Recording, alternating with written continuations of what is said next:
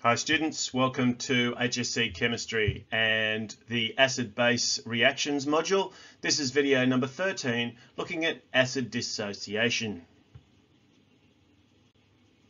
In a previous video we were looking at the ways of describing solutions in terms of their strength or concentration. And we realized that one of the ways of doing that is to actually start to get a sense of where the equilibrium lies between the reactants and the products when an acid um, is added to water. In fact, the extent to which acids are ionized is what we use to determine their relative strengths. And we use this with the acid ionization constant, Ka. We can calculate the value of Ka in the same way that we usually do for any equilibrium constant by looking at the concentration of the products divided by the concentration of the reactants.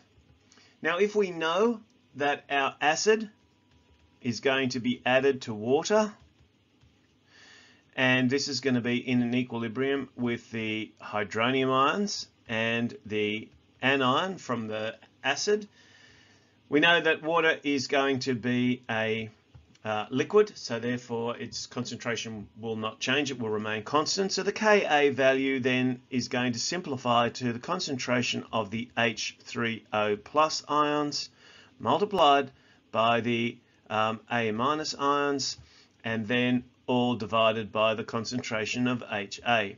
Now what you can see already when we start to look at something like this is A, there's an assumption that's made that the, that the ratio here is 1 to 1. So this works for what we call a monoprotic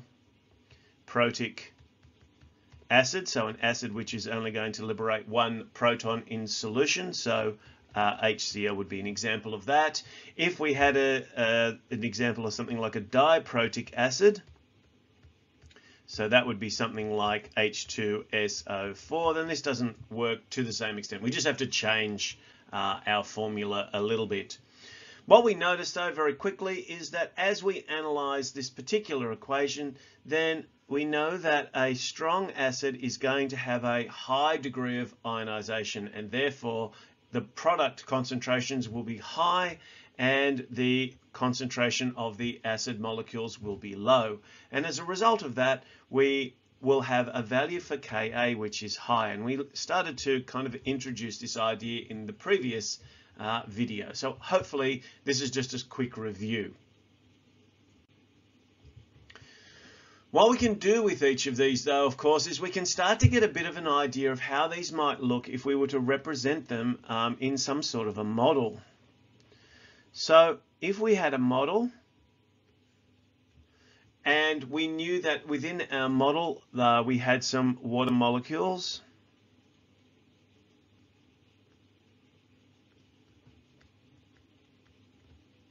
the more water molecules we have the more dilute the solution is going to be. But we might also have some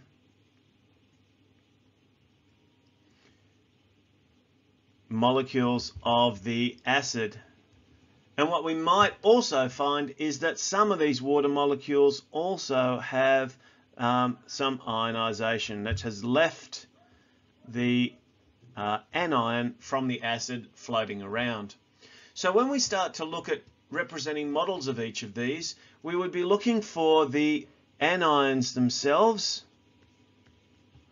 and the degree to which they have been isolated the formation of the hydronium ions, the H uh, plus, which would become H3O plus uh, like this when these are being added to water molecules, and also the fact that there may or may not still be molecules of the original acid remaining in the solution. So we need to make sure that we've got a, um, I guess, a visual representation of what strong and weak acids might look like, as well as a mathematical value that helps to tell us something about them. The problem with the mathematical value is some of the some of the absolute values can be quite low and yet comparatively very high and therefore indicating quite strong solutions. In order to see that, we're going to have to do some calculations. And of course, you're going to have a look at a few of these in class in order to help you understand some of these concepts in just a little bit more detail and also in terms of their application for particular types of problems. To take a couple of specific examples and go just a little bit further, let's look at an example of a monoprotic and diprotic acids, one of which in each combination is strong, the other which is weak or weaker.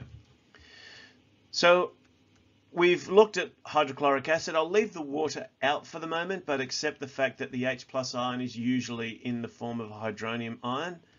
We know that this is pretty much a completion reaction. The, the equilibrium is so far to the right on this one that effectively we have no hydro, uh, hydrogen chloride molecules in the water. We just have hydrogen ions and chloride ions.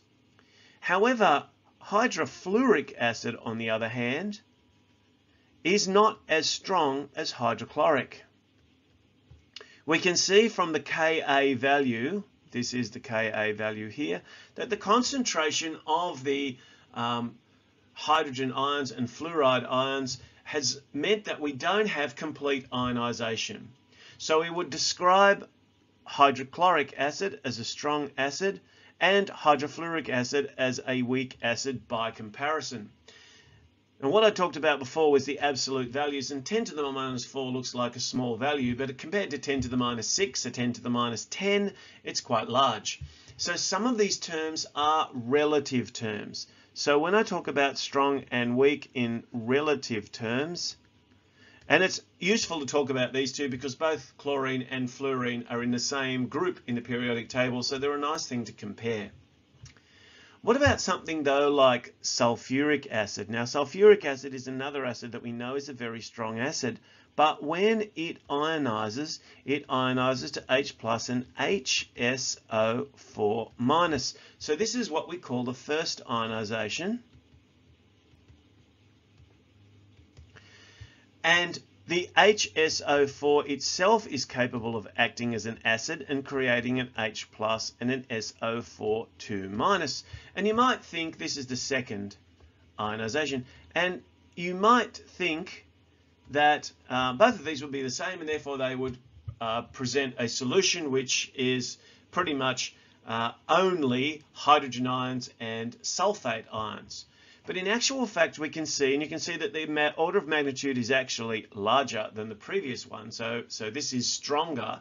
If we were to compare HSO4 minus with HF, we would say HSO4 minus is stronger because it has a larger Ka value. Nevertheless, this doesn't fully ionize. So it's something to keep in mind with something like a diprotic acid like uh, sulfuric acid in that its second ionization is not always a completion. So in fact, when we're looking at sulfuric acid, we might actually say that the second one is more of an equilibrium. Now, it still lies a long way to the right. It's still relatively strong compared to other um, acids, but it's not as strong as the original sulfuric acid um, that it it started as. So these are just some of the different ways we can use the Ka values to make comparisons between the strengths of acids and of course we can do likewise with the strength of base solutions. But we'll look at some more examples in future videos. Thanks for watching.